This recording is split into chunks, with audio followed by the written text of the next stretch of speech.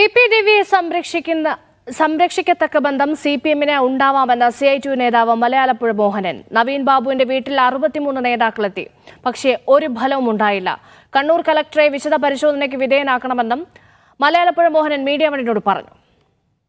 അതായത് Kannur C P M ഇപ്പോഴും നവീൻ ബാബുവിനൊപ്പം അല്ല അറിയില്ല. എനിക്കതറിയില്ല.